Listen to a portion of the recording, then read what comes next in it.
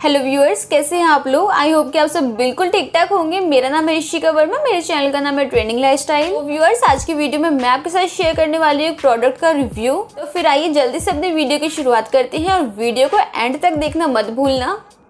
सो so, viewers ये है मेरे पास ब्लू हेवन का कंसीलर और जैसे कि आप इसके पैकेट पर देख ही सकते हो जो इसका एमआरपी लिखा है वो है वन फिफ्टी रुपीज़ तो यहाँ पर सबसे पहले मैं आपको बता दूँ कि जो ब्लू हेवन है, उसने अपने कंसीलर में चार शेड अवेलेबल किए हैं। मैंने यहाँ पे मोचा है मेरे पास बट आपको मार्केट में फोर शेड्स इसके और अवेलेबल मिल जाएँगे including this mocha of shade और जैसे कि इसके पैकेट पे लिखा ही हुआ है कि ये फुल कवरेज कंसीलर है, यानी कि ये फुल कवरेज देता है, और फ़ोटो परफेक्ट है।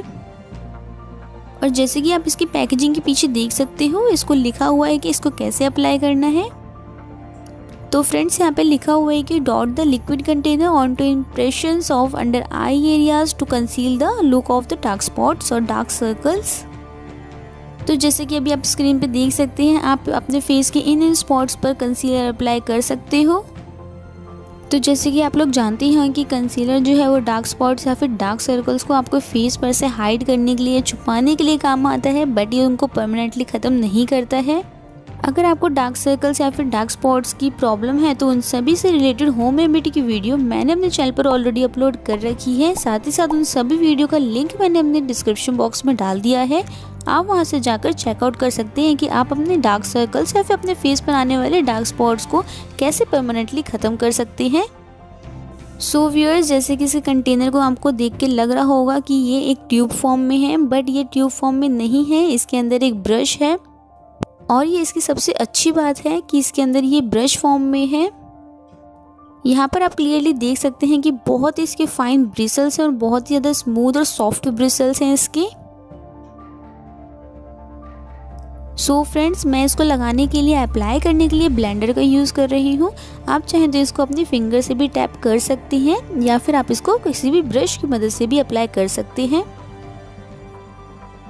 साथ ही एक ज़रूरी बात मैं यहाँ पर आपको बता दूँ कि जब आप इसको लगा रहे हो, तब आप इसके कंटेनर को हॉरिजॉन्टली प्लेस ना करें अदरवाइज़ ये निकल जाएगा। बाहर इसका सारा का सारा कंसीलर आपको इसको खड़ा करके रखना है। वर्टिकल पोजिशन में इसको रखना है।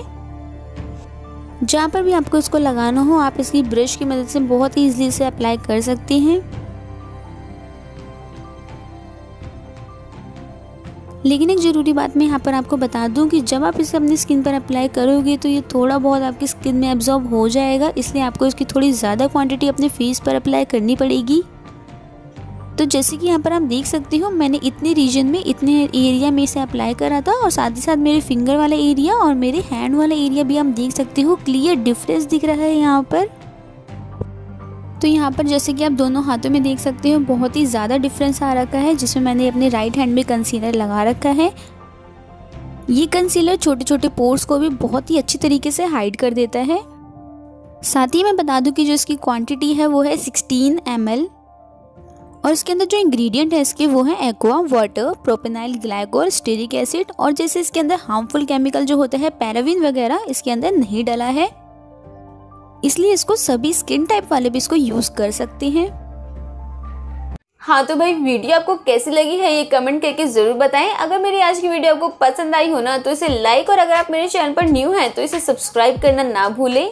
और साथ ही साथ बेल आइकन को भी टर्न ऑन कर दें, ताकि जब भी मैं वीडियो अपलोड करूँ, आपको उसकी नोटिफिकेशन जल्दी से जल्दी मिल जाए। फिर मिलते हैं नेक्स्ट वीडियो में।